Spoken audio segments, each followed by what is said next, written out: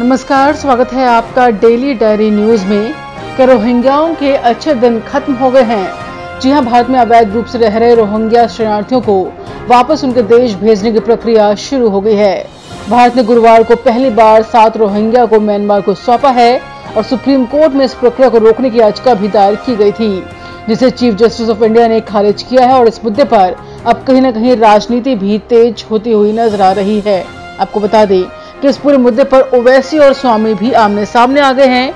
Rohingya के मुद्दे पर भारतीय जनता पार्टी के सुब्रमण्यम स्वामी और एआईएमआईएम के ओवैसी आमने सामने आ गए हैं। आपको बता दें कि स्वामी ने कहा है कि रोहिंग्या मुसलमान कभी भी भारत के साथ नहीं रहे, इसलिए उन्हें यहाँ क्यों रखा जाए? आज़ादी से पहले वो जिन्ना का गुणगान करते थे, स्वामी बोले कि सभी रोहिंग्या को जहाज़ में भरकर वापस भेज देना चाहिए। ये सभी भारत के लिए एक बड़ा खतरा है। और वहीं जहाँ स्वामी ने रोहिंग्या को वापस भेजने की वकालत की है तो वहीं ओवैसी ने केंद्र पर निशाना साधा है और कहा है कि भारत सरकार शरणार्थियों पर अंतर्राष्ट्रीय कानून का उल्लंघन कर रही है। तो आपको कौन लगता है इस पूरे मुद्दे पर, रोहिंग्या के मुद्दे पर?